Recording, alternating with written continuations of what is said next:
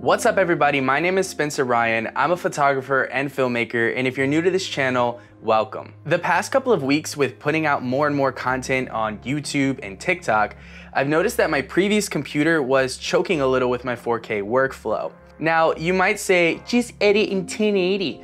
And that's a totally fair suggestion, but for myself, I'm always obsessed with getting the best quality I can, and having a 4K TV in my living room, it helps me sleep better at night knowing it's formatted correctly and not upscaling on millions of TVs out there in the world. So I went ahead and made some upgrades. Fortunately, the guy who I bought my original PC from was super helpful and he actually allowed me to trade out a lot of the parts for free. I was initially working with an i7-8700T, which is the economical version of the 8700 and 8700K. The base clock was at 2.4 gigahertz and turbo only got up to 4.0, so it was extremely limited in what it could do. My graphics card was and still is the Asus GTX 1060 with 6 gigabytes of RAM and it hardly bats an eye with anything I throw at it, so that was safe to stay. So what we ended up doing was we swapped out the CPU for an i5 9600K that was completely ready for overclocking and we added a big fat tower cooler, which you can see in the back,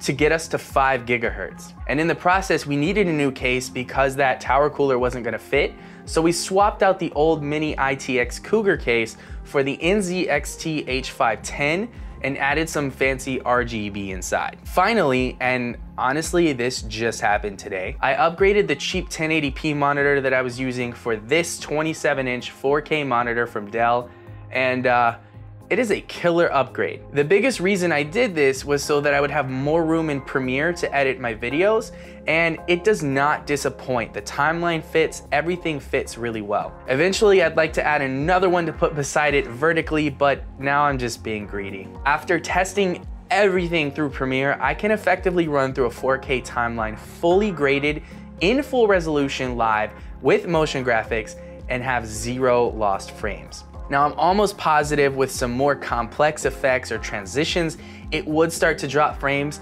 but I can drop it to half resolution and it would be totally fine.